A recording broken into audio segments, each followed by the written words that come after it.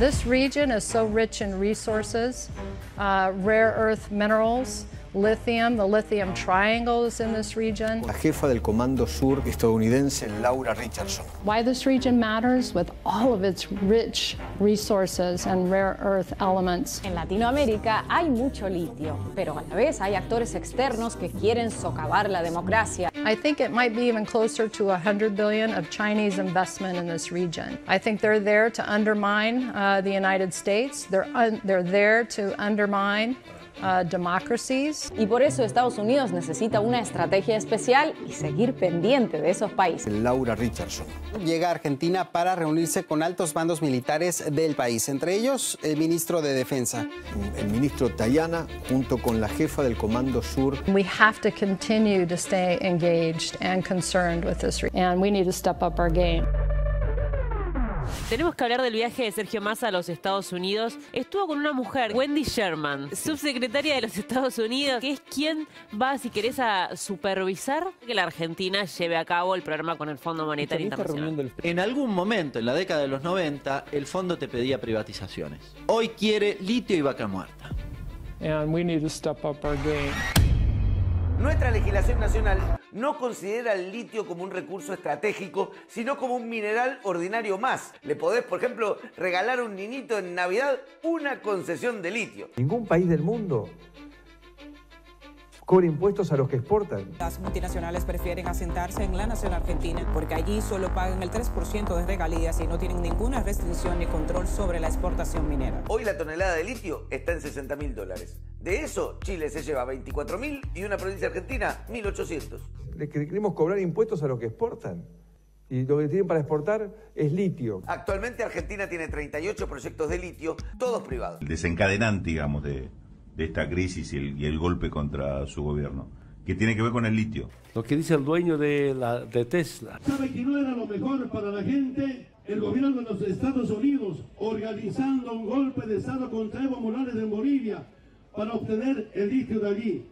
La respuesta, nosotros vamos a realizar golpes donde queramos. Lidien con eso. En abril pasado, el Senado de México aprobó una reforma a la ley minera que permitió la nacionalización del litio. El litio va a ser explotado en beneficio de los mexicanos. Vamos a crear una empresa de México para el litio. Los grandes medios de información de paso avisan de que México no tiene capacidad alguna para extraer litio por su cuenta. No, no, no. Al parecer esto solo se puede hacer con empresas privadas y solo con sus tecnologías. Juntos, unidos, industrializando, podemos también ser potencia en algo, en litio. La secretaria de Minería de Argentina, Fernanda Ávila, rechazó recientemente la posibilidad de crear junto a Chile y Bolivia una suerte de OPEP del litio. La decisión fue tomada debido a la presión de gobernadores que se oponían a esta idea. Gerardo Morales encabezó el desentierro del carnaval con la reta y el embajador de Estados Unidos. I told Governor Morales I would go to the next carnival in Jujuy. The energy of the people there, the spirit, the frivolity, uh, the costumes, the pageantry, everything was absolutely terrific. I learned a lot. Uh, we uncovered the devil for a week, and then they're going to bury the devil back. But it was great. In Puramarca, you have got to go next year if you haven't been there. The sticker for Hui right here to the Stanley Thermos. Hui, you've got the center of attention.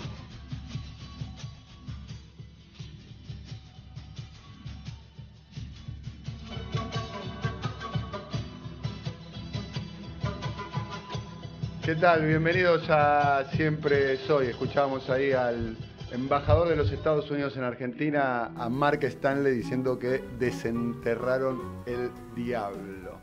El futuro ya llegó hace rato, dice Carlos el Indio Solari, el, el líder de los Redonditos de Ricota, y ahora sí podemos afirmar que vienen por el litio y el resto de los recursos naturales.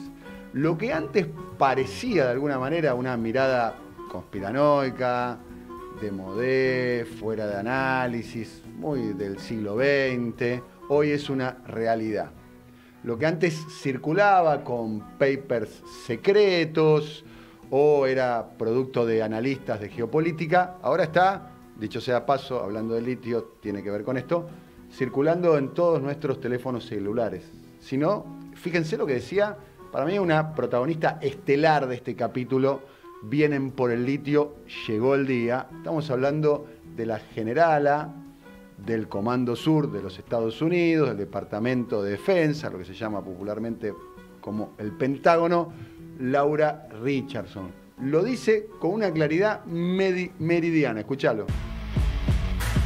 This region is so rich in resources, uh, rare earth minerals, lithium, the lithium triangle is in this region. Con la jefa del Comando Sur estadounidense Laura Richardson.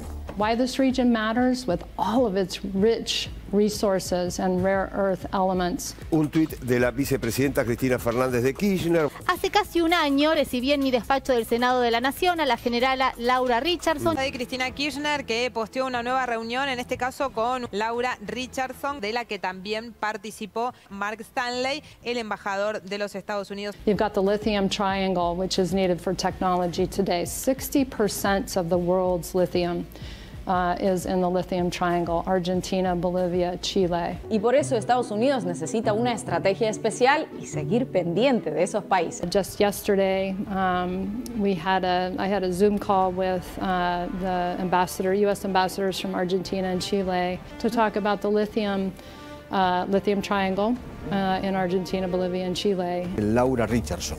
Llega a Argentina para reunirse con altos mandos militares del país, entre ellos el ministro de Defensa.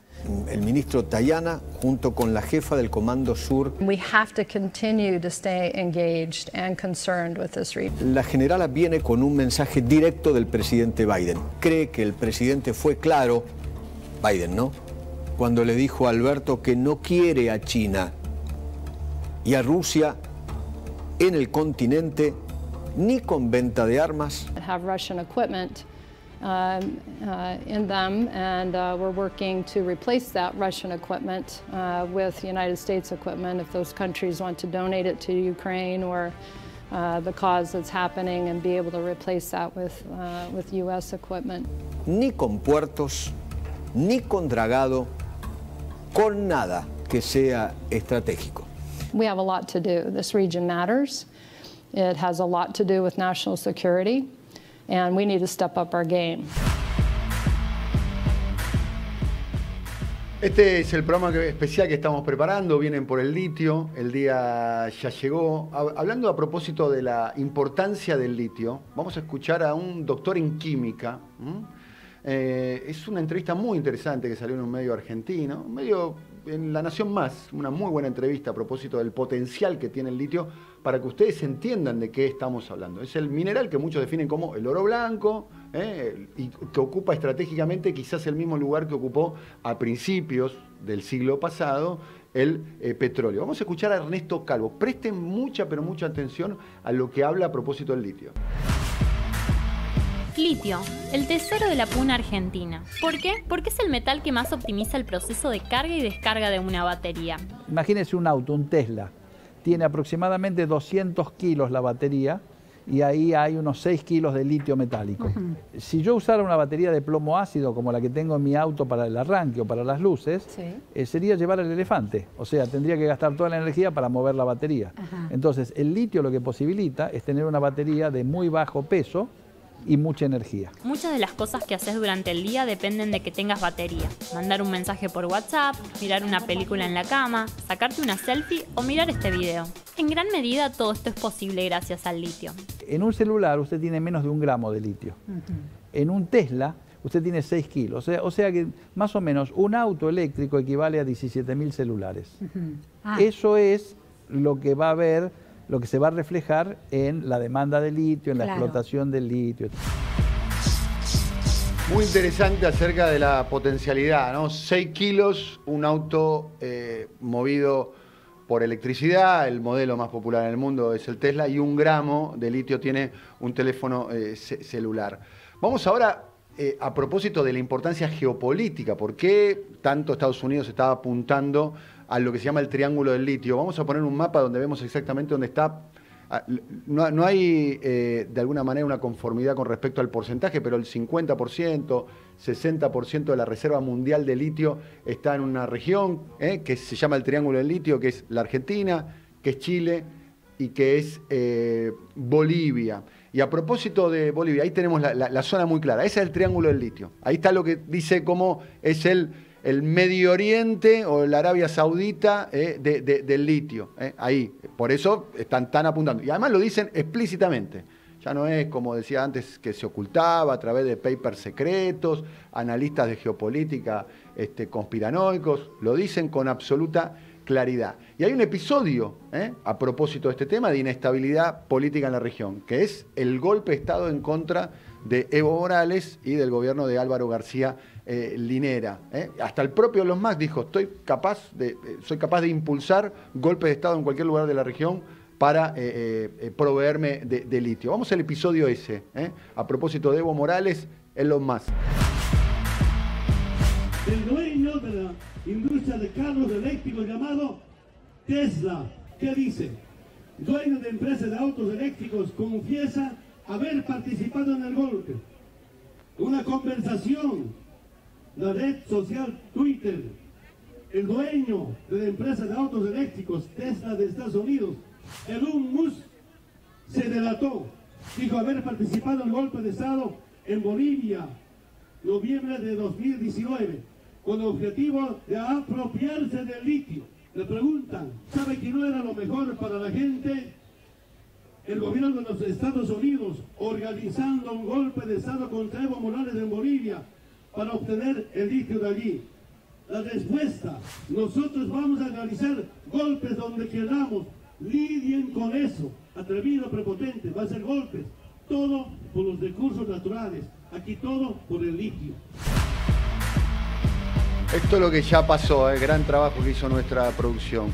Buenos días, Valentina. Más adelante estaremos hablando sobre. Vamos a estar hablando sobre la regulación del litio que tenemos aquí en Argentina, lo vamos a comparar con otros países, vamos a hablar de Chile, vamos a hablar de Bolivia, vamos a hablar de la oferta que brinda este triángulo del litio al comercio exterior, pero también vamos a hablar de la demanda, así que vamos a estar recorriendo esos temas. Muy bien. Profesor, ¿de qué estaremos hablando? Estaremos hablando de la historia de esto, del extractivismo, de cómo vienen potencias extranjeras y nos sacan los recursos naturales, y al mismo tiempo de la contradicción eterna que tiene la Argentina entre ser un modelo agroexportador o un modelo industrial. Sumamos al equipo a nuestro compañero amigo, vicepresidente de la Argentina entre el año 2011 y 2015, Amado Vudú. Amado querido, ¿cómo estás? ¿Cómo estás, Daniel? Muy bien. ¿De qué estaremos hablando en un ratito? Del impacto institucional que tiene toda esta cuestión del litio, una vez más en el extractivismo y los diseños políticos de, de la región, pero sobre todo de Argentina. Bien. Vamos a saludarlo a Álvaro García eh, Linera, eh, vicepresidente de, de Bolivia. Vamos a conversar con él. Tenemos varias preguntas para hacerle. Bolivia es uno de los, de los países de la región que más desarrollado tiene la industria de- del litio y más desarrollado tiene además la idea de un proyecto eh, nacional, la idea de tener toda la cadena de valor de producción del litio y no solamente la exportación de la materia prima, del mineral, para que se elabore y se dé su valor agregado en otros lugares del mundo. Querido Álvaro, muy buenos días aquí en Buenos Aires, Argentina. Estamos aquí con Amado y con el resto de- del equipo. ¿Cómo estás? Hola Daniel, muy buenas tardes. Un saludo a Amado, un saludo a Valentina y al profesor. Muchas gracias, querido eh, Álvaro. Bueno, ¿cuál es la importancia geoestratégica hoy de- del litio y qué interpretación estás haciendo de la visita que hizo, que está haciendo por estas horas en la región, la generala del Comando Sur, Laura Richardson? Mira Daniel, um, el mundo tiene aproximadamente mil millones de autos. Y de esos mil millones de autos, eh, solamente entre el 3 y el 4% de, de esos autos han, han sido reconvertidos o son, tienen un tipo de eh, movimiento en base a energía y el uso de baterías de litio. Quiere decir que tienes más de 990 millones de autos que con el tiempo tienen que pasar a sustituir combustibles fósiles y usar energía eléctrica que es depositada en baterías de litio. Estás hablando de un negocio gigantesco para los siguientes años. Europa y Estados Unidos han planteado que para el 2050, 2050, es decir, de aquí a 25, 27 años, tienen que sustituir todo su parque automotor de combustibles fósiles hacia energía eléctrica. Eso va a significar un incremento asombroso del consumo de litio en el mundo. Y tanto Europa como Estados Unidos han establecido planes de eh, transición energética. Estados Unidos ha aprobado una ley de transición energética y está disponiendo para los siguientes 10 años de cerca de 300 mil millones de dólares para fomentar consumo de energía eléctrica y premiar al ciudadano norteamericano que compre aviones, eh, perdón, autos con energía eléctrica. Entonces, se, se entiende esta mirada geopolítica que está tomando Estados Unidos y Europa respecto al litio. Su agencia, la Agencia Internacional de, Energía, ha establecido que el consumo de litio se va a incrementar en 1100% en los siguientes 20 años. 1100%. Es decir, vas a tener toda una matriz energética, vas a tener toda una matriz de seguridad y de competencia geopolítica en el mundo en torno al litio.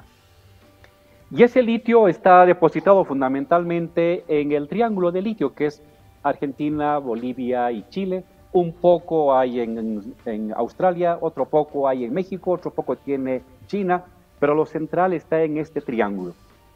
Y por eso, no solamente Estados Unidos, sino también Europa han puesto los las largavistas y el telescopio para centrar sus intereses en Argentina, Bolivia y Chile.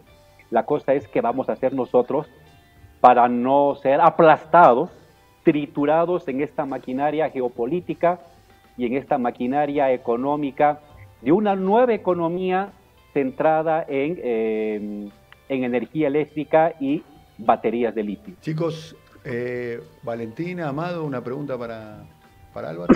Simplemente coincidir con el, con el análisis que hace, que hace Álvaro lo único es para adentrarme ya en el tema institucional, ¿no? Eh, como en la, general habló de seguridad nacional.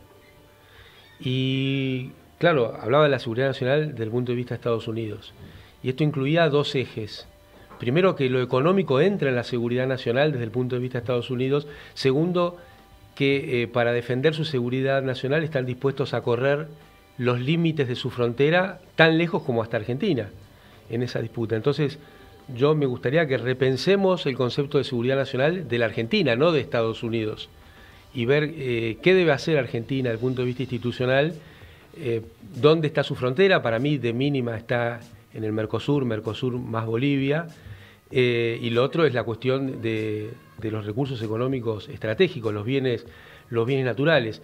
Y si este discurso que está permeando de la generala en nuestros sistemas políticos no estamos llevando adelante una lumpen dirigencia, una dirigencia que está más eh, conteste a los intereses de, eh, la, del imperio que los intereses del próximo, propio país. Bueno, no fue solamente, Álvaro, te, cuento, que no fue solamente Laura Richardson quien visitó la, Argentina la última semana. luego de la visita del presidente Fernández en la audiencia privada que tuvo con Joe Biden, se fueron sucediendo diferentes visitas. Por ejemplo, estuvo eh, Wendy Sherman, que es la número dos eh, del Departamento de Estado, que visitó la Argentina y dejó además este, una frase un poco temeraria en un país donde los ingresos están muy bajos, está creciendo la pobreza. La del dolor. La del dolor, eh, dijo, ahí lo vamos a poder ver, señaló que el futuro de la Argentina sería promisorio si aceptábamos el dolor de las medidas que había que adoptar en el corto plazo. Esto lo dijo la número dos del Departamento de Estado. Eh, fue una de las visitas. Otra de las visitas que recibió también la Argentina en estos días, eh, fueron tres visitas en espacio de una semana, eh, Wendy Sherman, también visitó la Argentina Christopher Hanson, que es el presidente de la Comisión Reguladora Nuclear, que hizo saber, dejó trascender, que Washington veía con sumo desagrado la posibilidad de que la Argentina se alíe eh, con, China con respecto a la construcción de una eh, central nuclear, la más precisamente la Atucha 3. Eh, o sea, son niveles de intromisión muy altos que tienen los Estados Unidos sobre la Argentina y en particular sobre el litio. ¿Qué rol ocupó el litio en el golpe de Estado que sufriste vos, Álvaro, y que sufrió Evo Morales años atrás, en el año 19?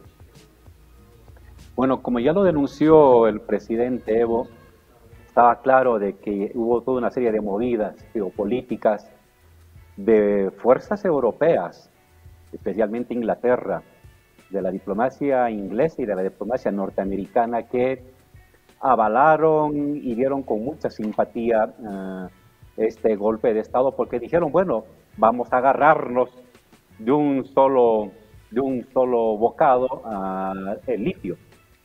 Y comentando lo que han, lo que han eh, dicho estas personalidades norteamericanas, no se trata de que América Latina, en este caso Argentina, Bolivia y Chile, eh, no hagan ningún tipo de acuerdo con Estados Unidos llegado el caso. Eh, no se trata de que encerremos el litio y lo dejemos enterrado, no se trata de eso, sino si la relación con ellos va a ser la de vasallos, que es lo que ellos quieren. O la de socios. O va a ser la de socios. Y yo creo que América Latina debería apuntalar a una lógica de sociedad múltiple, plural, y no de vasallaje. Porque mira, ¿qué hacen los norteamericanos?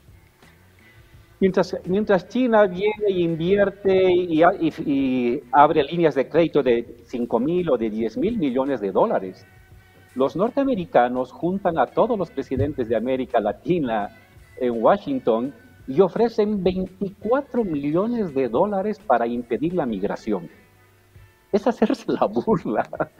Es decir, esos tipos piensan que somos unos retrasados mentales y no puede ser que los traten así.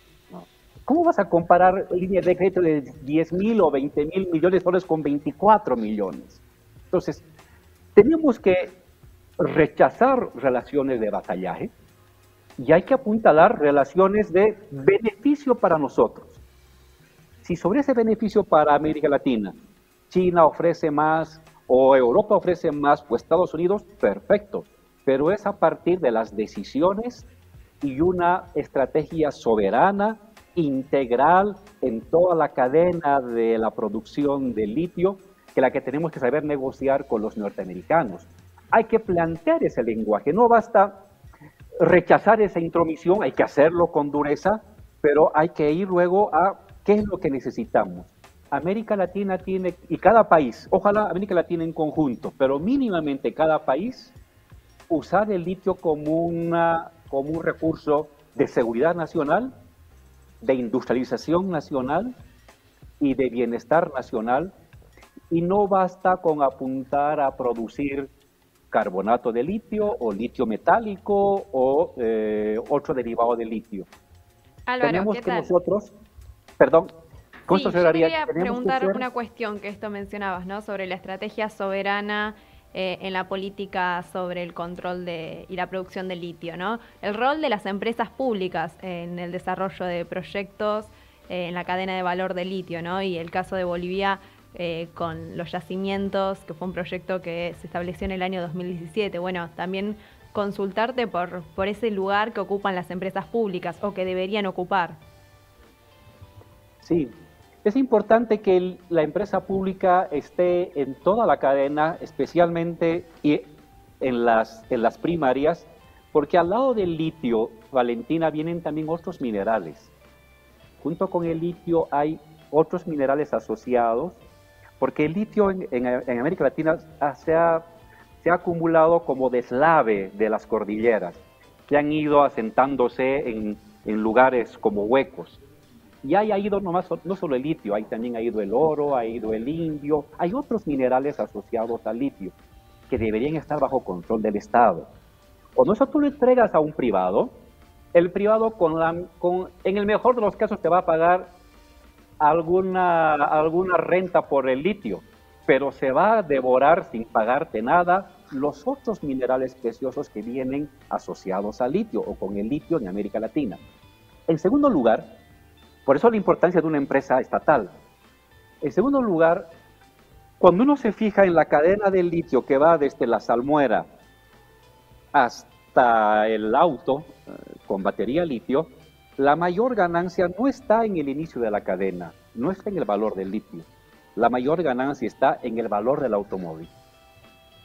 Entonces, no es correcto decir, bueno, el Estado o el privado argentino que se dedique a sacar litio, carbonato de litio, litio metálico, y los grandes monstruos, Chrysler, Ford, eh, Mercedes o, de las empresas chinas, que industrialicen, hagan cátodos, hagan baterías y vendan autos. Esa también sería una relación colonial. Entonces, la idea que es, cada estado propietario del litio, ser socio, accionista de toda la mega empresa que va desde el litio hasta el auto. Entonces, estás hablando ya de cosas más grandes. ¿Para qué? Para que cuando se venda en China o se venda en Estados Unidos, no hay problema que se venda en Estados Unidos, o en Francia, un auto con litio argentino o con litio boliviano, por cada auto que se venda, el Estado argentino o boliviano reciba su parte, su ganancia. Por cada cátodo que se produzca en México o en España, Argentina o Bolivia o Chile reciba su parte. Y por cada kilo que produzcamos de litio, por supuesto, en, en las almueras eh, acá en, en nuestro altiplano, también recibamos nuestra parte. Estamos hablando con Álvaro García eh, Linera. ¿Hay que contemplar a la posibilidad del litio como un instrumento de inestabilidad política eh, en la región, una hipótesis de inestabilidad política en la región? ¿El antecedente Bolivia va en ese sentido? ¿Las palabras de Laura Richardson también? Por supuesto, porque mira, en el caso de Bolivia, Daniel, eh, nosotros hicimos un acuerdo antes del golpe de Estado con una empresa alemana pero también hicimos acuerdo con una empresa china. En este sentido, de nosotros ser socios de toda, de toda la cadena. Y el golpe de Estado lo que hizo es romper esos acuerdos con China y también colateralmente se rompió el acuerdo con Alemania, pero ante todo se rompió el acuerdo con China. ¿Por qué? Porque prefieren un gobierno sumiso, que diga, está bien extranjerito, yo te voy a vender mi litio, llévate la cantidad que quieras, y allí multiplica por 20 o 30 las ganancias vendiendo autos. Eso es lo que yo llamo la lumpen dirigencia de nuestros países, ¿no? Justamente. Linera, ustedes hicieron una experiencia de industrializar el litio. ¿Cómo les fue con eso?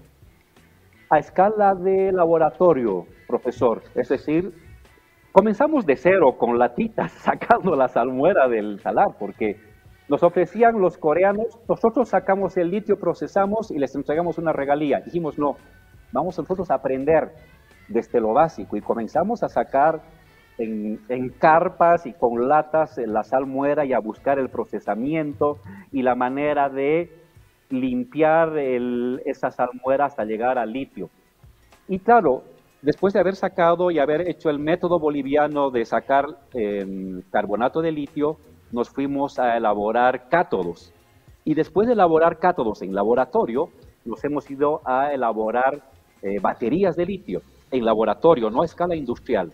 Y después hemos pasado a, en laboratorio, a, a fabricar un auto. Pero es ahí, cuando estábamos en esa cadena avanzando, que vino el golpe de Estado y detuvo todo este proceso y lo hizo regresar en la perspectiva de que Bolivia no industrialice nada y solamente venda materia prima.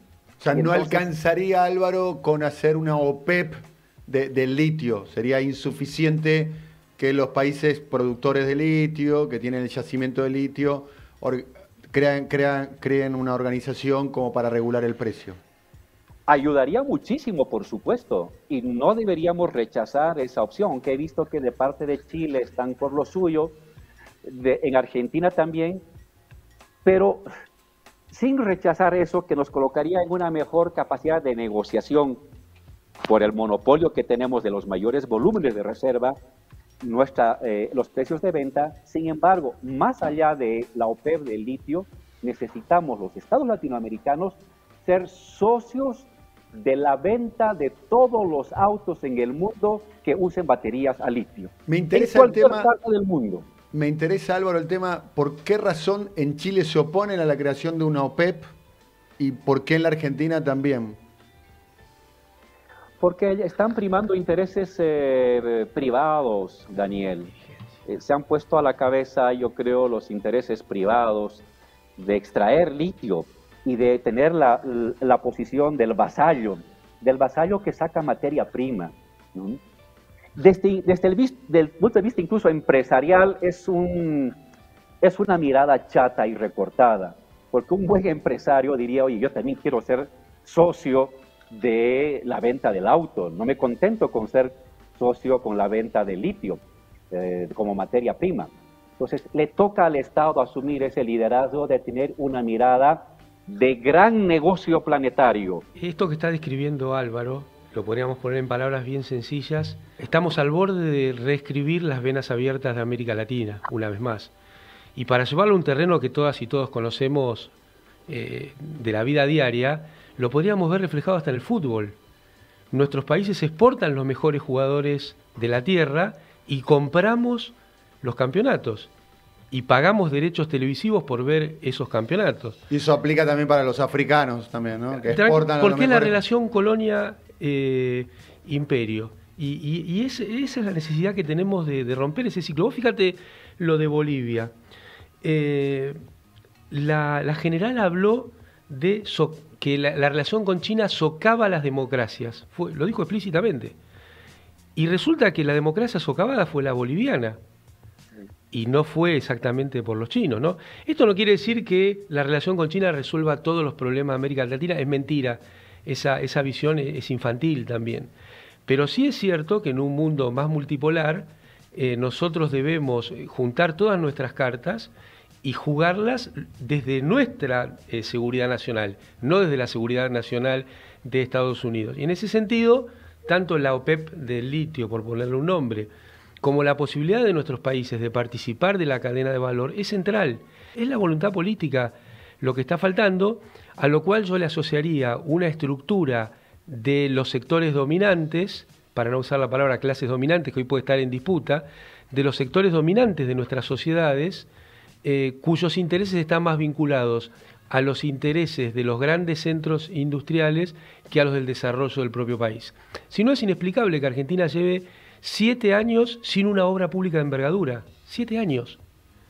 Eh, ¿Esto por qué sucede? Porque sí, no, esto sucede porque se han asociado los intereses de los sectores dominantes de la República Argentina a los sectores de aquellos países que pretenden mantenernos en un sistema donde nosotros proveemos bienes naturales y ellos nos envían bienes industrializados. Álvaro, te agradecemos mucho el contacto con nosotros. Eh, un abrazo muy grande. Veo ahí dos vicepresidentes, eh, eh, tanto Álvaro García Linera como Amado, de dos procesos históricos muy virtuosos de, América Latina. Estaría bueno, es una idea que se me ocurre, la tiro al aire, podrían hacer un programa juntos, podemos sumarlo a Pablo Iglesias, un programa de los vicepresidentes. ¿Estarías de acuerdo, Álvaro? Me gusta mucho esa idea, va a ser un honor, por supuesto. Ah, me parece que salió una idea acá. Ni te cuento. ¿Eh? Imagínate, Amado, Álvaro y Pablo Iglesias, ¿eh? que es el conductor y el director de, Canal Red. Gracias, querido Álvaro, por tu tiempo, como siempre. Daniel, una última palabra al tiempo de despedirme de todos. Mañana el presidente Boric anuncia la estrategia chilena sobre el litio. A ver, veremos. Veremos. Eh, en el fondo guardo una pequeña esperanza de una mirada más soberana y no colonizada. Em, y con lo que ha, tomado, ha decidido también ya México, de el Estado va a intervenir en el ámbito de la extracción del litio, creo que poco a poco y por vías medio raras se puede ir configurando una manera distinta, primero, de asociarnos los que tenemos litio y segundo, buscar eh, los mejores ingresos y una mirada soberana y de seguridad nacional frente a esta explosión de la demanda de litio en el mundo. Ojalá, ojalá que las cosas vayan cambiando y, y este sea el punto de partida para una América Latina más integrada y una América Latina industrializada y una América Latina que no dependa um, meramente de las materias primas, sino que pueda acceder al excedente que genera toda esta industria tan compleja como es la automovilística y la de los propios celulares. Un abrazo muy grande, querido Álvaro. Fuerte abrazo. Un abrazo. Siempre. ¿eh? Álvaro García Linera, un lujo. ¿eh? Para mí es uno de los intelectuales más influyentes, contemporáneos en la región y en el mundo, Muy Álvaro importante. García Linera, y haciendo un análisis muy a la altura de algo que, insisto sobre el tema, ¿no? Ya llegó, ya no es una cuestión que circula en papers secretos, ya no es una cuestión de revista especializada. Es ya- el noticiero, Ya cuestión de- está eh, a cielo abierto. Vas ¿eh? a la puna y están sacando. La, la disputa, eh, el famoso, vamos a poner un- una reacción que elegí yo, la elegí a último momento, allá por eh, el año 2001, 2002, una Lilita Carrió cuando Lilita era la Lilita, la despeinada, la desprolija. Siempre la hay de- un despeinado. Sí, sí, sí. La, de- la del crucifijo gigante, la que venía a representar a los sectores progresistas, ¿no? La que venía de, de- de los márgenes, no la Lilita Carrió, voy a decir algo, espero que no se ofenda a nadie, más conchetizada, ¿eh? como está ahora, ¿eh? más representante de las elites. Esto decía Lilita en el año 2001, ¿se acuerda? Mirá. Estoy hablando de algo que es la última fase de lo que puede venir. Eh, vinieron por las industrias en los 70 para la desindustrialización, vinieron por las empresas del Estado en el 90, vienen por la tierra en el 2000. Tierra y agua.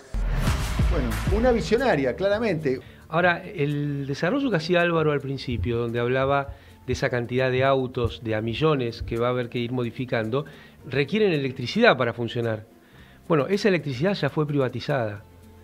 O sea que es un escaloncito arriba de otro. Desposeyeron a nuestras sociedades, en términos de lo que dice David Harvey, de las empresas de eh, energía o de servicios públicos en general. Y ahora se va a montar un nuevo negocio sobre ese negocio que ya está privatizado. Bien. Vamos a ir a los antecedentes históricos, como hacemos siempre en nuestro programa, la cadena de ADN, en un minutito nada más, con eh, el profesor Vinieski, eh, para entender un poquitito cómo llegamos acá y cuáles son las claves de la historia, que es un poco la marca que tratamos de instalar con nuestro programa, eh, con Siempre Soy. Un saludo muy grande a toda la gente que nos está viendo aquí en Canal Red, en España, en toda América Latina. Pero Valen, eh, un poco disparado a partir de la conversación para mí muy interesante que tuvimos con Álvaro García Linera, el comportamiento que están teniendo otros países.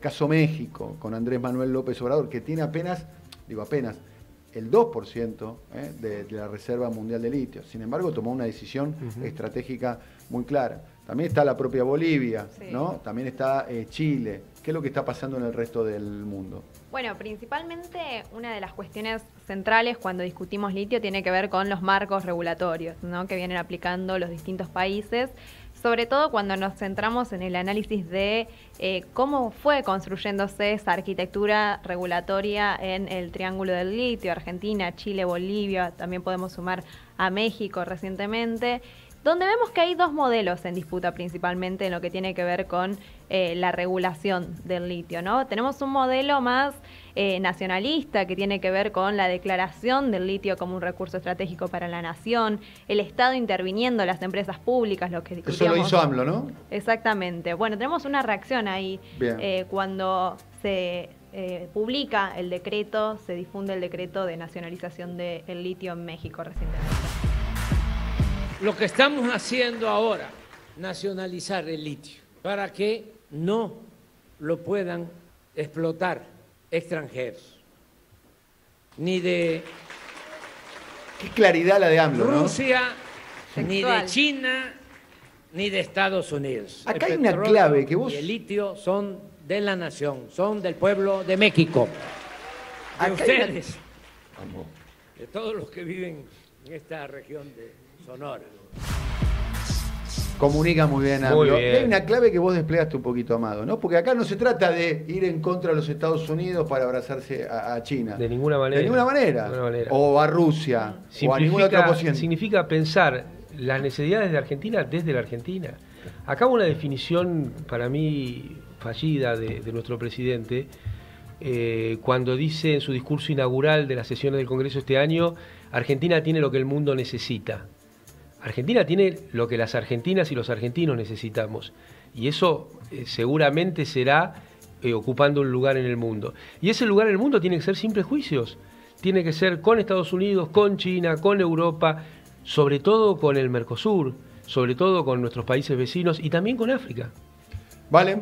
Bueno, y después tenemos el otro modelo, ¿no? Que es ese modelo más liberal, que tiene que ver con eh, aquellos estados que promueven determinados marcos jurídicos o incentivos fiscales para que vengan capitales extranjeros y desarrollen proyectos extractivistas en la nación. Igual quiero ver el, cómo fue evolucionando eh, el precio de- de- del litio. Acá es importante para entender, a ver si lo podemos poner a pleno, por favor. Acá- Evolución del precio internacional del carbonato de, de- de litio. Fíjense lo que ha subido. Exactamente. Bueno, y acá hay una cuestión central, ¿no? Digo, bueno, el litio Quizás no es... se ve tanto, a ver, pero en el año 2006 la tonelada estaba a 2.000 dólares Sí. y la tonelada llegó a estar en el año 22, ahora bajó un poco, eh, por encima de los 63 Sí. mil millones de dólares. Exactamente, más De- cercano a los 70 mil. Más cercano a los 70 mil, ahora está un poquito más abajo, más está en 52 mil y pico. Sí.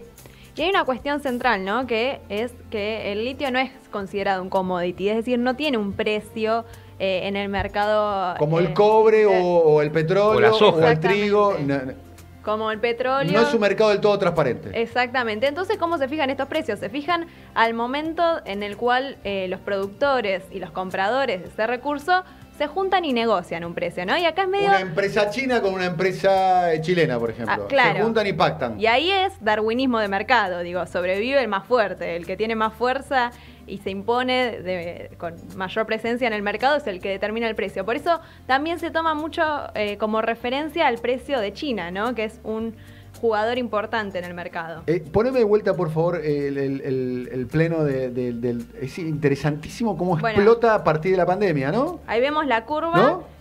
Empieza Explota. con, con una sobreoferta en los primeros años, entonces vemos bastante planchado el precio. Cuando empieza a crecer la demanda, principalmente eh, a partir de 2018 y después de la pandemia, eh, se ve ahí la curva cómo crece más repentinamente, tiene que ver con eh, que empieza a jugar en el mercado la cuestión de las baterías de litio, que hasta el momento no se había desarrollado concretamente y ahí empezamos a ver más proyectos, más explotación y ahí hay un pico que se va... eh, Es un el detalle precio. que no es un mercado del todo transparente. Ese detalle que trae para mí Valentina es determinante. O sea, vos no hay un lugar donde vos podés decir cuál es la cotización. Hoy nos ponemos en internet, podemos ver la cotización de cualquier materia Sí, prima. del como- petróleo, cualquiera, el cobre. de cualquiera en el mundo online. En el ¿A cuánto en está el litio hoy? Bueno, eh, es, no es del todo transparente. Ahora, Claro. esa transparencia, ¿no? porque es- trae un tema muy importante, Valentina, que es cómo se organizan estos mercados. Los mercados que hoy decimos que son transparentes son mercados que han sido trabajados para llegar a esa situación desde también desde el punto de vista de eh, los centros internacionales. Eh, porque vos fíjate una cosa, en una tonelada que exporta un país exportador de bienes naturales, eh, justamente le clavan que sea transparente el mercado de lo que exporta, pero el de los fletes, el de los seguros y el de las finanzas son mercados oligopólicos. Entonces, ¿quién se apropia de la mayoría del valor de una tonelada exportado? Porque para exportar hay que tener flete, hay que tener seguros y hay que tener un sistema financiero. Lo que, lo que planteaba un poco Álvaro, ¿no? Que la ganancia está eh, en la venta de los autos, no tanto en la Te materia hacen, prima. entre comillas, eh, un mercado transparente, el de lo que exportás, para deprimirle el precio al máximo y te generan eh, bienes que son, eh, servicios que son indispensables en mercados oligopólicos. Bueno, pensemos sobre Por eso todo desapareció Elma, para ponerle un nombre. el caso de Argentina, ¿no? ¿Qué, qué se llevan las provincias con la Elma, recaudación? aclaremos, empresa de líneas marítimas de- del Estado, que La era la, empresa mari- de- la Marina Mercante. La Claro. Marina Mercante. Tiene una Llegamos a tener 4.000 barcos propios. ba- barco Ahora ninguno. Ninguno. No, y esto mencionaba, ¿no? Sobre pensemos qué se llevan las provincias, por ejemplo, en el caso argentino, donde eh, el esquema regulatorio se rige bajo tres puntos, que es la Constitución, ese artículo 124, donde declara que los recursos son bienes eh, propietarios de las provincias. Después tenemos el Código Minero y la Ley de Inversiones Mineras. Bueno, la Ley de Inversiones Mineras dice que el 3% de la recaudación, que serían las regalías, va a las provincias. Imagínense de todo lo que se llevan, de todo lo costoso que son eh, esos proyectos que hoy se están haciendo, sobre todo en Salta y en Jujuy. Digo, las provincias solo se están llevando el 3%, entonces también, digo, hay ganadores, hay perdedores y claramente en este, bajo este código de regulación no son las provincias. Eso es una cuestión que hay que dejar en claro. Ahora tenemos una reacción más que también los invito a ver, que es muy interesante. Vamos a escuchar a nuestra querida Laura Richardson, casi podemos decir, falta, hay una silla acá esperándola a la general Laura Richardson. investment, uh, over 50 billion. I think it might be even closer to 100 billion of Chinese investment in this region. I think they're playing chess. Russia is also prevalent in this region, and I think they're playing checkers. I think they're there to undermine uh, the United States. They're, un- they're there to undermine uh, democracies, and they all mean business. Whether they're playing chess or checkers, they're there to undermine democracy. And quite honestly, with all of the disinformation uh, and the uh, Russia Today, Espanol, Sputnik Mundo, over 30 million followers on Russia or on social media. I mean, this is very concerning. We have a lot of important elections coming up or just happened, uh, and we have to continue to stay engaged and concerned with this region. Hay que agradecerle a Laura la honestidad que tiene, ¿no? Eh, es Se un vienen las mérito. elecciones. Estamos hablando un poquito, ¿cuál es la distribución de, de- del Bueno, litio en la región? Tenemos una placa, un Sí. gráfico de torta que nos muestra cómo es la distribución de los recursos de litio. Bueno, Presten atención a esto, esto es determinante. ¿eh? miren, tenemos Chile, Argentina y Bolivia que suman el 58% de los recursos a nivel mundial, ¿no? Por eso hablamos del triángulo del litio. Estamos hablando de la oferta que tienen estos países y eh, los cambios también, ¿no? Que, que tienen, digo, Argentina se destaca por este marco regulatorio más liberal, en el cual uno puede entrar, puede tomar una concesión eh, y puede explotar esos recursos. Digo, hay una libre entrada y hay una libre salida para los capitales extranjeros. Lo explicaba muy bien Fede Simonetti en País eh, de, de- de Boludos. ¿eh? Si quieren podemos rescatar como modo de reacción. Menos diciendo- mal que para Latinoamérica. que Eh, no gran show que tiene Fede Simonetti diciendo este, le podés regalar a un niño, a una niña para, para fin de año, para Navidad, este, una concesión de litio, que no hay ningún Claro. tipo de problema. Podemos entrar, podemos salir, podemos explotar los recursos, podemos generar un impacto ambiental muy grande, podemos ir contra las comunidades originarias y no va a estar pasando nada, nadie nos va a retar y va a estar todo bien. Ah, lo tenemos ahí a, a Fede Simonetti, a ver si lo podemos rescatar, lo dice con una, enorme gracia además Fede. Nuestra legislación nacional no considera el litio como un recurso estratégico, sino como un mineral ordinario más. Le podés, por ejemplo, regalar a un niñito en Navidad una concesión de litio. Exactamente, muy bueno ahí, Fede. El que habló también es Mark Stanley, Sí. ¿no? Que es, la verdad, hay que decirlo, es, es pura simpatía el, go- el- el embajador. Es muy simpático, es muy agradable, ¿no? Sí, ¿Serio? una persona muy amable, muy lindo Muy lo que propone, mira, veamos. A ver. What I think Argentina could benefit from, in my opinion, might be more infrastructure uh, projects that maybe we and some other countries can help. And the infrastructure would help ramp up the production of the oil and gas and the lithium and the agriculture. And so if we can help you help others, that's the kind of partnership that the United States wants to do. Create jobs, help other people, uh, be an agent, agent of change and positive change. Muy bien, dicho así, la verdad que, Lo cuenta tan lindo que te convence. la verdad que me convenció. Habría que ver cuáles son los otros países. Él dice Estados Unidos y otros países. Parece que en esa lista China no está. Clara- claramente. Y es muy interesante también ver una cuestión que tiene que ver con eh, la demanda, ¿no? La presencia. Tenemos un gráfico ahí para mostrar eh, sobre las exportaciones argentinas de litio, cómo fueron creciendo en estos últimos años a partir de 2015. Vean el último año, 2022, es el dato de la acumulación anual de exportaciones de litio que tuvo nuestro país. Crecieron un 230% en relación al 2021. Bueno, eso también tiene que ver con Todavía se mantienen bajas con respecto al resto de las exportaciones de materias primas de la Argentina, pero hay un potencial enorme. Hay un potencial muy grande.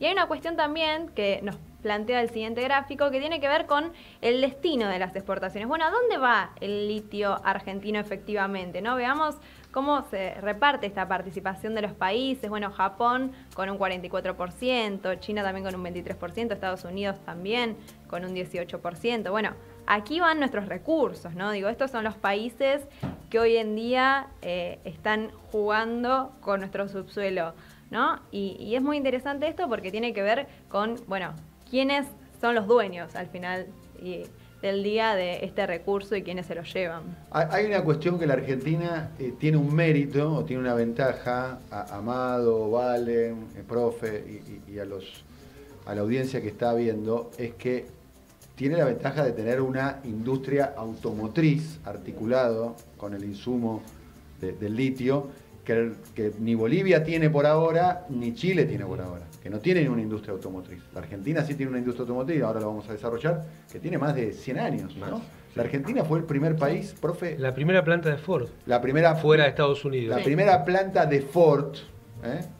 Ford, ¿eh? que creó ni más ni menos Es que el, el modo, de- el modo de producción del Fordismo, la producción en serie, fuera de los Estados Unidos, fue en la Argentina, ni más ni menos. O sea, tiene empresas radicadas de hace más de eh, 100 años. Pero como contaba Valen, que me parece muy valiosa la información que trajo Valen, de alguna manera es el país que tiene menos regulación. O sea, tiene la ventaja comparativa frente al resto de los países, pero por otro lado tiene la menor regulación, profe. Así es, recién lo escuchábamos a Macri diciendo qué país regula las exportaciones. Bueno, todos, todos los países lo regulan. Pero en la historia de Latinoamérica hay una marca que es prácticamente un símbolo, que es Potosí. La mencionó Álvaro conversando con nosotros. La mencionó. Dijo, no hay que replicar la misma mecánica desde 1530. Por eso ¿no? hablaba de la- las venas abiertas, cuarta versión ya sería. Claro, porque si ustedes tienen en cuenta Potosí, justamente el Cerro Rico de Potosí, la extracción de plata que se hizo de ahí, una, una investigación reciente dijo que fueron 60.000 toneladas de plata pura. 60.000 toneladas de plata pura, lo que equivaldría Este es el símbolo del extractivismo en América Latina, tan popularizado en el libro. las venas abiertas. Pero eh, el- la contracara de todo esto es que en riqueza serían cerca de 100 mil millones de dólares actuales. Se hizo ese cálculo en la Academia Argentina. Ahora, si uno va allá, no quedó nada. Porque ese es el modelo. Una enorme capacidad de exportación, pero cuando se agota el recurso... Financiando la era de oro de- del Imperio Español, ¿no? Sí, lo que quedó son las tumbas de quienes hacían la extracción. Es- Eso es lo que... Exacto, en una zona que fue súper rica en un momento, pero no quedó nada una vez que dejó de explotarse la plata. Lo mismo podríamos decir, por ejemplo, con todo en América Latina, lo que fue el café, lo que fue la explotación y la explotación de la banana, por eso en otros países le decían países bananeros, porque justamente la explotación de banana y café fue monumental. Invadimos Europa y el mundo con estos productos. Ahora, en esta zona no quedó nada. No quedó ninguna infraestructura de desarrollo. No Pongamos quedó de vuelta la riqueza. gráfica que hizo Andrés Roque, está hermosa, además, mirá lo que, mirá qué Mirá qué lindo, lindo. una belleza. Exacto. Estamos- la historia del litio en realidad puede replicar lo que sucedió con el resto de las materias primas, estamos hablando de la plata y minerales en Potosí, el café, Colombia, el norte de Brasil, ¿no? Exacto, y eso está súper estudiado. Y además, justamente, muy bien explicado en las venas abiertas de América Latina, que tenemos una reacción en la cual nada más y nada menos que Hugo Chávez le regala las venas abiertas de América Latina a Obama. Mirémoslo, a ver.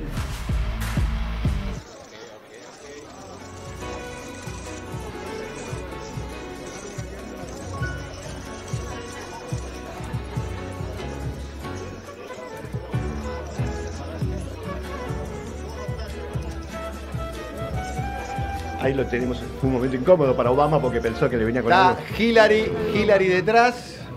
Un libro extraordinario que a mí me ayudó cuando era muy joven a entender mejor América Latina, nuestra historia, nuestra realidad, las venas abiertas de América Latina, imagínate. Es un monumento a nuestra realidad, a nuestra identidad, Eduardo Galeano, tú sabes, ¿no? Uno piensa también en el caucho, en, en Perú, en todas las... Exacto. En el Amazonas el caucho. Claro. ¿Lo habrá leído Obama? No creo, pero el azúcar. Bueno, todas estas cosas ten- tenían una cosa en común. Es llamativo que Vargas Llosa escribió mucho sobre esto, ¿no? Vargas Llosa cuando era de izquierda. Hay que disentir entre El último Vargas libro hace poco, Sí. porque... eh, La guerra del de fin del mundo. La guerra del fin del mundo sobre un levantamiento en, en el norte de Brasil, ¿no? Hay que discernir entre el Vargas Llosa que escribe y el Vargas Llosa que, que- que- que piensa sus ideas, porque parecieran dos personas. Sí, sí. Sí, bueno, ahora es un neoliberal agresivo, pero en, en este, en este terreno, la Argentina, que fue un modelo agroexportador durante muchísimo tiempo, que llegó a estar quinto en la economía mundial, pero de una distribución pésima, lo que tiene es que después, cuando se agotó ese modelo, en 1930, hubo una disputa permanente entre somos agroexportadores o nos vamos a industrializar. Tal vez el presidente que le puso nombre a esto, Arturo Frondizi, le puso desarrollismo, tratando de llevar la Argentina hacia un modo de producción industrial, miren cómo lo presentaba él, lo que era para él una nación.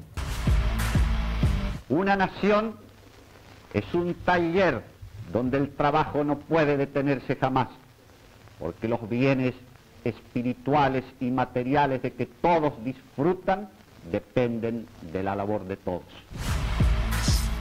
Un taller, pero nunca lo terminamos de ser, porque en realidad lo que no pu- pudimos interrumpir es esta manera, esta pelea entre ciertas clases dirigentes que quieren que seamos exportadores y sectores populares que van por la este, industrialización. La Argentina, como decíamos recién, fue pionera en la industria automotriz. Solamente 10 años después de que Ford inventara el Forte, ya estaba en la Argentina.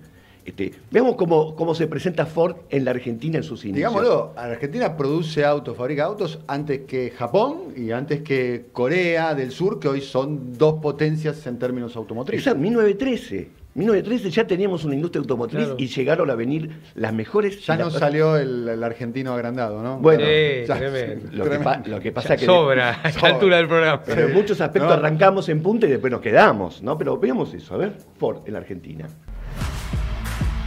El montaje del modelo T y para abaratar costos, la filial argentina incorporó algunos proveedores locales. Alrededor del 20% de los elementos que constituían el Forte Nacional eran argentinos.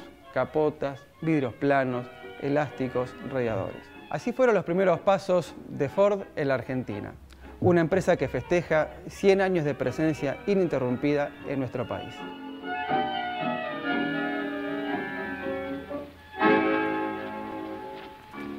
Chan, chan, terminó el informe. Tenía, tenía un porcentaje de integración alto, además. Sí, 20% no está mal, ¿eh? Hay que ver en qué momento se superó en el tiempo después. No, Es hoy, muy hoy- bueno. hoy hay autos que tienen más. Alrededor del 40 es el, el tope. En 2013 vino el presidente de Ford, un nieto de Ford a la Argentina, a conmemorar esa fecha. Bien, bueno, y después vinieron las principales empresas automotrices del mundo, y sin embargo, con todo este tipo de tradición, todos los intentos de un desarrollo autónomo de la industria automotriz argentina fracasaron, porque los hubo. Hubo en la época del peronismo intentos de un auto argentino. ¿Qué cosa ha ocurrido permanentemente? ¿Cómo nació la industria en la Argentina? Bueno, cuando se cortaron las exportaciones por un problema de la crisis mundial, vino el modelo de sustitución de exportaciones que acá está explicado en 30 segundos. 30 segundos. Sí, a ver. La crisis del sistema capitalista que estalló en 1929 alteró la división internacional del trabajo entre el centro y la periferia. Los países europeos suspendieron las importaciones de productos primarios provenientes de la periferia. En consecuencia, las exportaciones argentinas cayeron y faltaron divisas para afrontar la importación de productos industriales.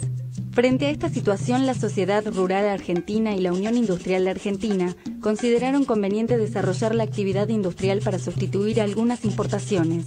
Los grandes capitalistas agrarios impulsaron el crecimiento industrial, además de controlar los circuitos de comercialización y finanzas. ¿Y qué pasó con eso? ¿Qué pasó con eso? Inglaterra le dijo, si ustedes van a sustituir importaciones, nosotros no les compramos más ni vaquita ni trigo. Y ahí se cortó, se cortó el periodo de sustitución de importaciones. La Argentina siguió atada a su modelo agroexportador, la dictadura militar del 76 profundizó ese modelo y en lo que tiene que ver con los recursos naturales o con nuestra naturaleza, la reforma constitucional del 94 dejó un poco desarmada la posibilidad de que como nación podamos negociar frente a las potencias, porque dejó esa negociación librado a cada provincia. Recordemos ese momento de la reforma constitucional. Sigamos adelante. Estamos transformando a la Argentina. Y la nueva sociedad que ya vislumbramos Sacame, sacame necesita con- contar quiebro, con me- estructuras, Me quiebro, me quiebro, me rompo. con leyes modernas que la acompañen. Te lloro como tiene. A seis años del siglo XXI, dejémosle a las generaciones que vienen un país estable y con las herramientas necesarias para enfrentar con éxito el futuro. De más está decir, por ahí alguno no lo sabe, este es el expresidente Carlos Saúl Menem, que hizo toda la reforma en realidad para poder ser Sí, reelegido. hay muchos actores predominantes de la política actual que fueron eh, convención. Parte de ese plan. Fueron, no, fueron, eh, Sí, tuvieron la, la- la convención constituyente. Seamos buenos entre nosotros, ¿no? Por supuesto, Ah, porque pareciera ser que la, la constitución la, la sancionó solamente menos. No, la Unión Cívica Radical y Raúl Ah, Alfonsín y participaron mucho, en y ese mucho pacto. más que no me acuerdo. De todo no nos vamos a No, no acordar. vamos a acordar de que- todo. eh, a veces la mala memoria es Algunos cercanos. es un acto de justicia. Exactamente, pero la consecuencia más directa que podemos ver tiene que ver con el litio y la provincia de Jujuy, el departamento de Jujuy, para que entiendan todos, en la República Hay Argentina. tres, hay tres provincias que, que tienen litio, ¿no? Creo que Jujuy, Catamarca y Salta, ¿no? Sí. Básicamente de la Hoy, Argentina. porque en La Rioja ya importa, el gobernador está trabajando fuertemente en ese tema de descubrir. Son todas provincias, esto es importante para aquellas personas Explorar que... es la palabra. Claro, son provincias de alguna manera que están en el norte argentino, que son provincias que no son de las más ricas. No, No, no Eh, las que, que no tienen una gran, no tienen, no tienen industria o no tienen gran capacidad industrial, eh, no, no- no tienen gran capacidad de producción de alimentos, de cereales o oleaginosas, ¿no? Son provincias, podemos decir, por su producto bruto Tienen interno. el índice de pobreza más alto. en la Exactamente, distribución no lo quería decir así, pero son las provincias pobres de la Son Argentina. las provincias pobres y vienen con esta promesa de que con el litio nos salvamos. derrame. El derrame, el litio nos salvamos, pero fíjense, anunció el gobernador de Jujuy que solamente el 5% de todo el litio que se extraiga iba a ser destinado a industrializarlo en la Argentina. Y así, con esta publicidad que vamos a ver ahora, que me da un poco de Pequeño vergüenza. detalle que lo dice como un mérito, además. Lo dice como un mira, mérito. mira lo bueno que tengo para anunciarles. El 5%, es decir, el modelo extractivista antiguo colonial. Pre-peronista. Y tan colonial que miren en qué idioma se hace esta publicidad. The lithium triangle that connects Bolivia, Chile, and Argentina is the biggest source of lithium wise in the world. Germany is moving ahead with this technology as well, and will need a lot of lithium to power those electric cars. Tenemos el litio que el mundo necesita y lo que se necesita para ser un gran país. Yo pensé que iba en, en lengua Gerardo. originaria.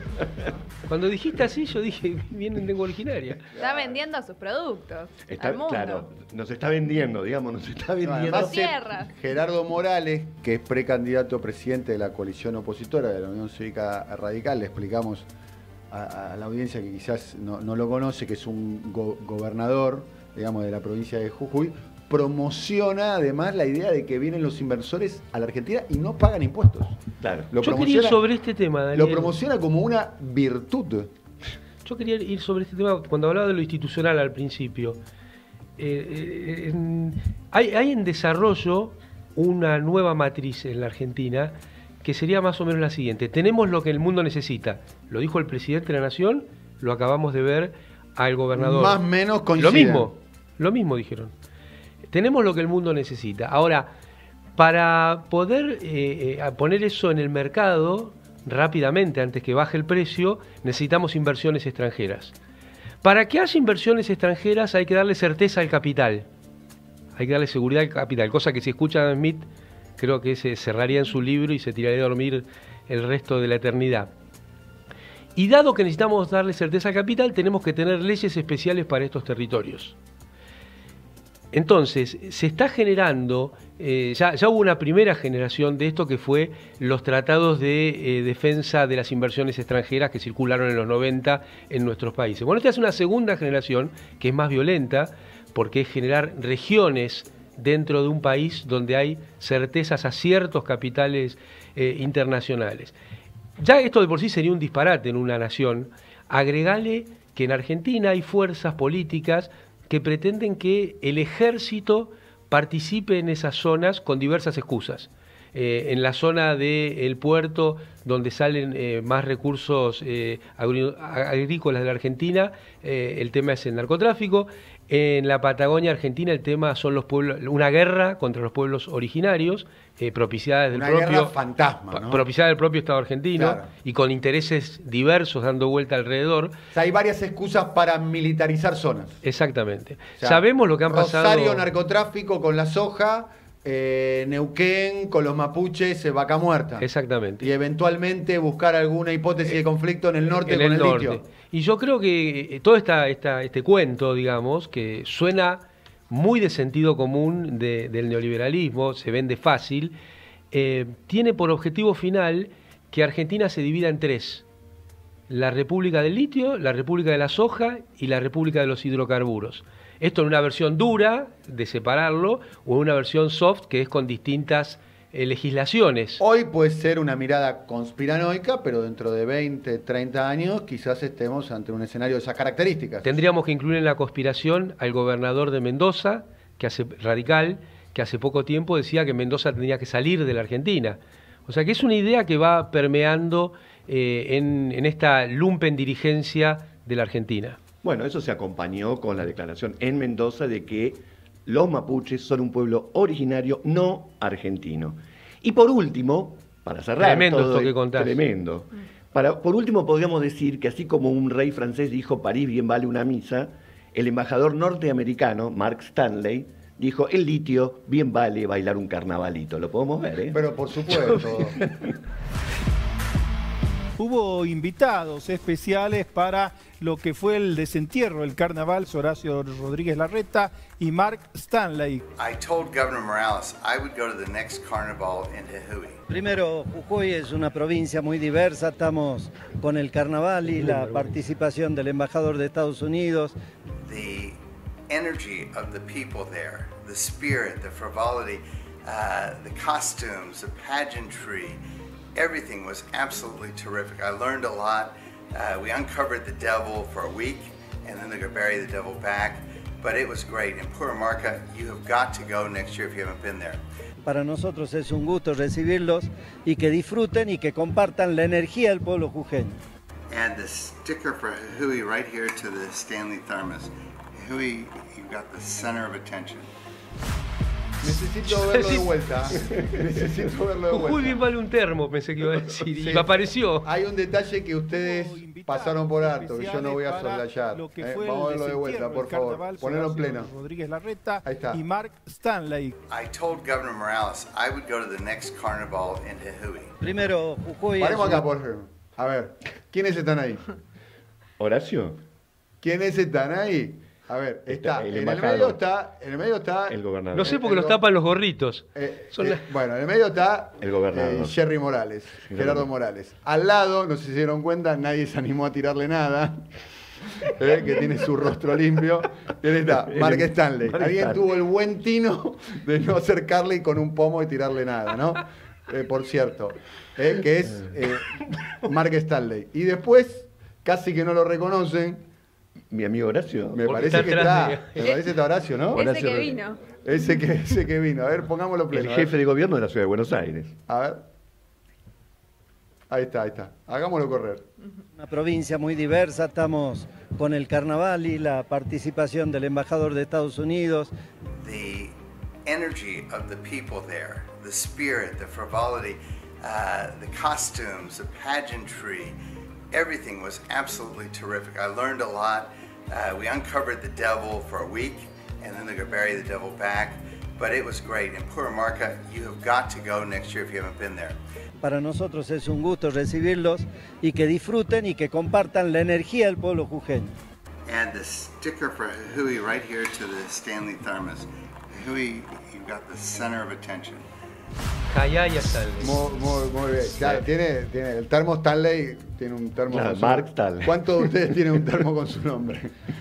La energía Tengo del pueblo jujeño es el litio. Cla- clara, claramente, desenterramos el diablo El por diablo. una semana, nos dice eh, eh, Mark. Muy interesante. ¿eh? Vamos a escuchar eh, sobre, sobre el final. Este, tenemos ahí a el, quien fuera eh, ministro de, de Ciencia y Tecnología y que es el que está tratando de alguna manera de hacer algún tipo de desarrollo eh, nacional con respecto al tema del litio.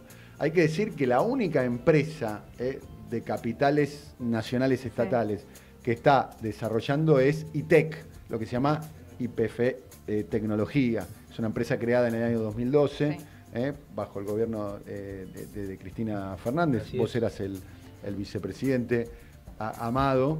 eh, y vamos a escucharlo a Álvarez, a ver. Hoy asistimos a una disputa abierta de los recursos naturales de América Latina porque está en boca de numerosos funcionarios que nos visitan y que eh, se refieren a esos recursos como estratégicos para su país. El caso del litio es un excelente ejemplo. Eh, Evo Morales lo mencionaba como uno de los factores eh, decisivos para el golpe de Estado que tuvo que enfrentar en 2019, justamente por haber eh, declarado ese recurso propiedad del Estado plurinacional de Bolivia. Tampoco me cabe duda que esta postura de defensa de los recursos naturales, de soberanía, ha sido y es eh, parte de la persecución política que sufren los líderes latinoamericanos. Creo que es la política quien debe asumir la defensa de estos recursos naturales, es la política la que debe asumir la soberanía que tienen nuestros países sobre esos recursos y ser capaz de eh, transformarlos a través del conocimiento, a través de la tecnología en bienes de mayor valor agregado para dar trabajo y para dar eh, bienestar a nuestros ciudadanos. Bien, interesante lo que decía Salvareza. Bueno, estamos terminando eh, un programa muy bueno, creo que gran nivel con, el diálogo que tuvimos con, Álvaro García Linera, con la presencia de Vice aquí con, nosotros, eh, con muy buenas reacciones. y para cerrar siempre como un epílogo, arrancamos con vos, querido profe. Bueno, tenemos una nueva oportunidad de no hacer lo que siempre hicimos, que es regalar nuestros recursos y quedar empobrecidos. ¿La vamos a aprovechar o no? Bien. ¿Vais? No, en el mismo sentido. Tenemos que e-, evitar la tentación de hacer paraísos extractivos en nuestros países y tenemos que pensar la seguridad nacional eh, desde el punto de vista de los recursos económicos y desde dónde está nuestra frontera, que sin duda no termina en Argentina, sino que tiene que ser de mínima el Mercosur y preferentemente Sudamérica. Valentina. La discusión de si se lo van a llevar unas pocas multinacionales o si va a generar efectivamente un desarrollo tecnológico, económico y social. Y para terminar, una cuestión central que tiene que ver con los condicionamientos del FMI y la relación con los recursos naturales. Digo, vienen por la flexibilización impositiva, vienen por la flexibilización laboral, pero también vienen por la flexibilización ambiental y eso es un punto central. Bien. A ver, hay países que tienen recursos naturales, ¿eh? por caso del petróleo, que es eh, eh, determinante, ¿no? Nigeria tiene petróleo, Noruega tiene petróleo.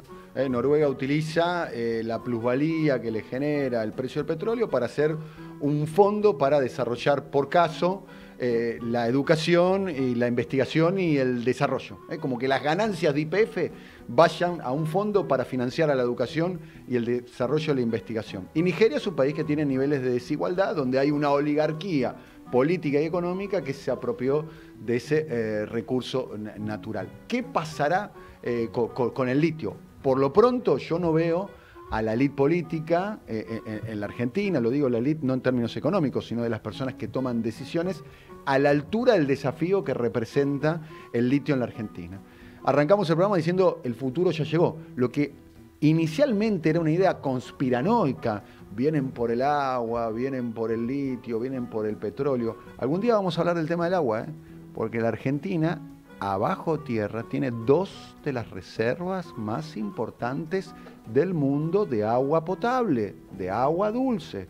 Estamos hablando del Puelche, que tiene casi el tamaño de la provincia de Buenos Aires.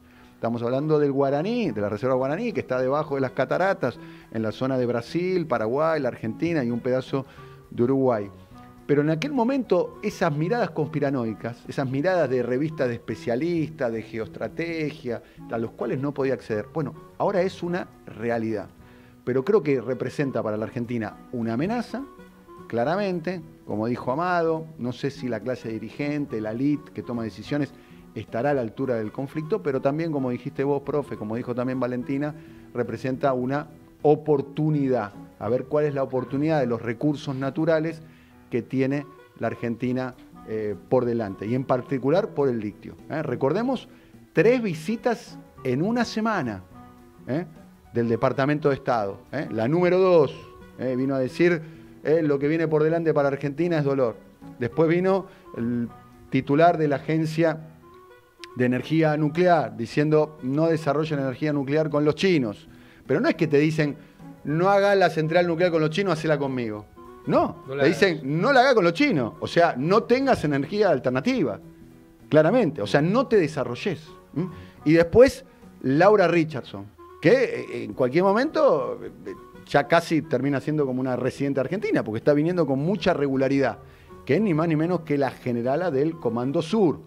No es que vienen del Departamento de Estado, no mandan a los diplomáticos, mandan a los militares. Consideran que el litio en la Argentina es una cuestión de estrategia de seguridad nacional, no de la Argentina, sino de ellos. ¿eh? Esto Y- para y entenderlo. Daniel, perdóname antes de que cierres, eh, no podemos olvidar que en las Islas Malvinas hay una base militar británica. De la OTAN. Que, que son OTAN. los aliados militares de los Estados Claro, Unidos. claro. En algún momento nos vamos a ocupar de eso, ¿eh? de, de Malvinas, de, de la Antártida y, y demás. Querido profe, será hasta la próxima. Hasta la próxima. Querido Vais, hasta la próxima. Hasta la próxima, Daniel. Querida Valentina. Hasta la próxima. Bueno, muchas gracias eh, por acompañarnos. Primero, muchísimo eh, agradecimiento por acompañarnos. Y segundo, como siempre decimos, segundo, Francia. Chao.